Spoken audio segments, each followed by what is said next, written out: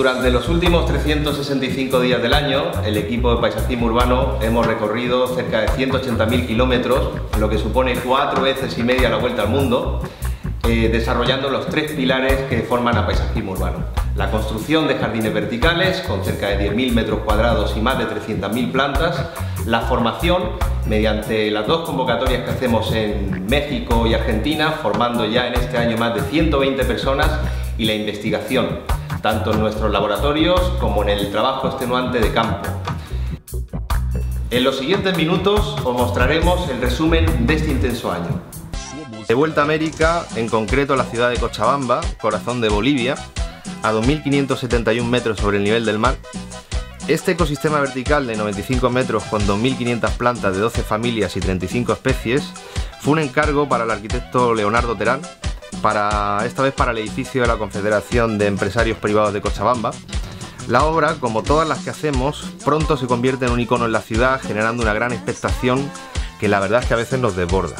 Seguimos y preste mucha atención porque el nuevo edificio de la Federación de Empresarios Privados implementó un novedoso jardín vertical.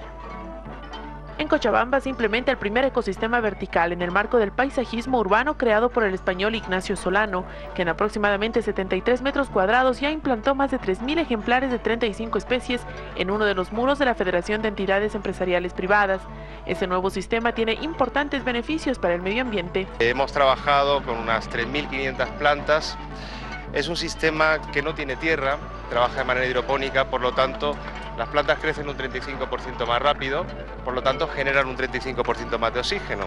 Estamos hablando que solamente este jardín vertical va a tener el potencial de filtrar unas 60 toneladas de gases al año, va a filtrar unos 130 kilos de polvo al año y unos 15 kilos de metales pesados.